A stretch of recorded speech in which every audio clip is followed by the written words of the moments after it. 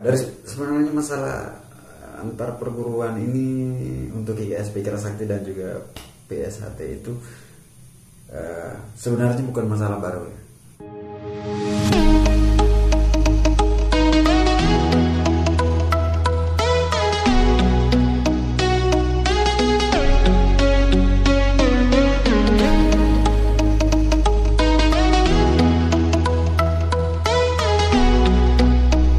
Welcome back to my channel. Jumpa lagi dengan saya Mbak Pati. Salam Jinsu dan salam pencak silat untuk semua pesilat Indonesia. Salam santun dari saya. Oke, terima kasih untuk teman-teman yang sudah mengklik video saya ini. Dan semoga kabarnya teman-teman baik-baik saja dan terhindar dari segala penyakit. Terutama COVID-19 yang sekarang lagi mewabah di negara kita Indonesia. Uh, semoga ya teman-teman kita semua sehat-sehat saja. Oke, terima kasih. Oke, jadi pada kesempatan ini saya ingin uh, apa ya membahas uh, lanjutan dari di mana apa masalah kemarin dari Sragen, di mana sekarang sudah ada penyelesaian, di mana masalah ini sudah dibawa ke pihak yang berwajib itu ke aparat. Uh, pelaku-pelaku itu atau oknum-oknumnya sudah ditangkap. Hmm, beritanya pasti sudah ada teman-teman juga pasti sudah baca. Dan terkait uh, video saya yang kemarin juga uh, ya saya begitu banyak mendapat hujatan ya hujatan. Ada yang dukung ada juga yang tidak. Dan itu sangat ya itu sebenarnya ya semuanya masukan bagi saya masukan untuk saya supaya ke depannya itu uh, mencari berita lebih konkret.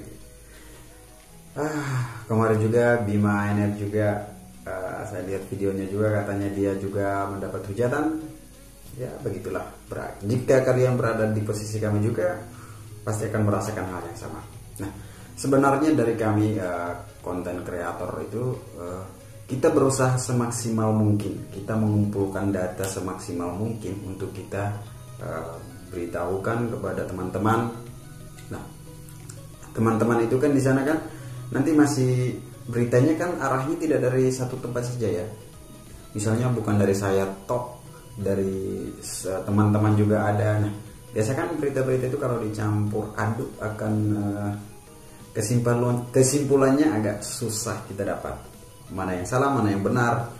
Nah dari video saya kemarin kan saya melanjutkan uh, kekurangan dari video uh, Bima ANF karena memang awalnya dia tidak menayangkan ya tidak menayangkan dari rumah yang dirusak. Oke jadi saya melengkapi dan video saya itu lumayan ada berapa menit ya sekitar 10 atau 11 menit. Jadi di situ kalau misalnya videonya kita uh, tonton cuma berapa menit satu dua menit terus kita langsung komentar ya mungkin agak sedikit. Hmm, perbedaannya. Dan juga kemarin uh, ada teman-teman yang terutama yang dari Jawa mohon maaf karena saya tidak tahu bahasa Jawa. Saya dari timur. Jadi susah uh, mengerti bahasa Jawa itu palingan cuma monggo itu terus ada beberapa mungkin ya, cara berterima kasih ya kalau tidak salah ya. Ada hanya seberapa. Karena memang kebetulan kemarin saya ke Madiun terus juga diajarkan beberapa kata beberapa kata. Jadi pemahaman saya tentang bahasa Jawa ya cukup itu. Jadi untuk teman-teman yang memang komen dalam bahasa Jawa minta maaf karena saya tidak mengerti sama sekali tapi terima kasih juga untuk teman-teman yang memang sempat membalas dari komentar-komentar teman yang dari Jawa. Nah, uh, jadi seperti itu ya.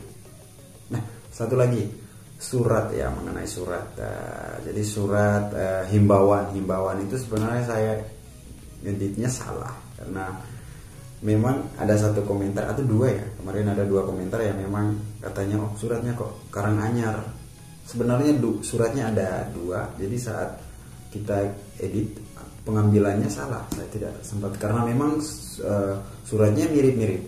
Nah suratnya seperti sebenarnya seperti ini surat himbauannya seperti ini. Nah, jadi penyelesaiannya sudah selesai dan sekarang mari kita berdamai. Ya kita semua mungkin ya dari sebenarnya masalah antar perguruan ini untuk IGS Pikir Sakti dan juga PSHT itu sebenarnya bukan masalah baru ya. Ya mungkin eh, yang seumuran dengan kita pasti tahu.